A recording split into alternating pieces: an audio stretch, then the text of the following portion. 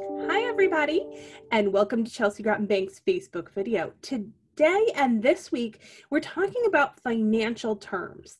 Um, a lot of times, um, in conversation or in articles, people throw around some financial terms that maybe people don't completely understand.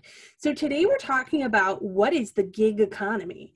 Um, you hear it all the time, you read it in articles, you hear it on the news. What is a gig economy? So um, you've heard of musicians saying that they've got a gig. Um, and that means that they have a job that they're going to go do and then when they're done with it they're done with it. Um, and that is exactly what a gig economy is. Um, it's an economy that's based on short-term temporary or independent contractors.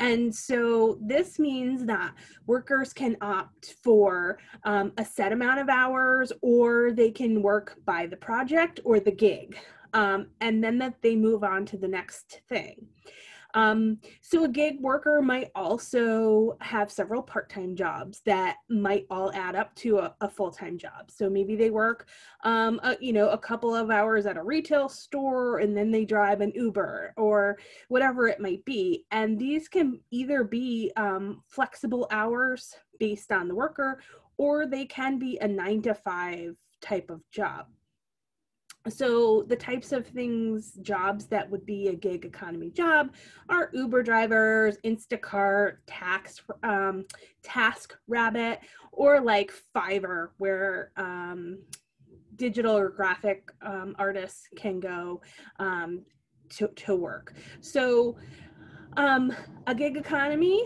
now you know what it is and hopefully that helps. Have a great day and we'll see you tomorrow. Bye bye